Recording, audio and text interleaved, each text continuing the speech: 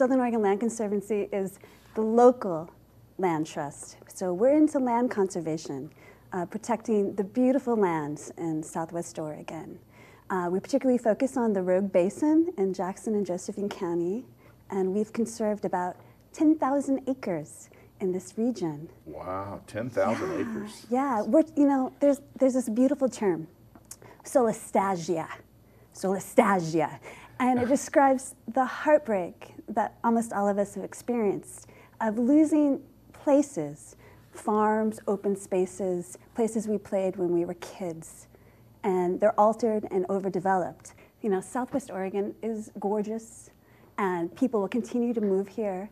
And For that gorgeous yeah, uh, absolutely. land. And we want to conserve a little bit of that landscape the farms, the ranches, the forests, the streams, the wildlife habitat.